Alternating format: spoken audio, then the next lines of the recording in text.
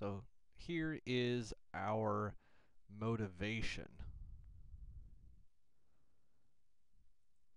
Now that is slow motioned, if you couldn't tell.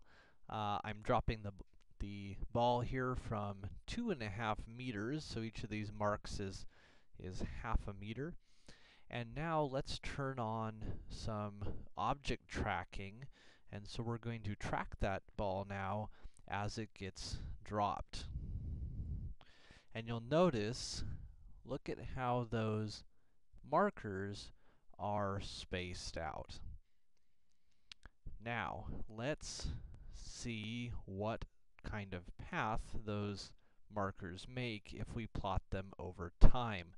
Uh, so, the computer here has uh, recorded the, the height of the ball over time and calculated out here at each time the horizontal position, which isn't very relevant to us, uh, and more importantly, the vertical, the y position.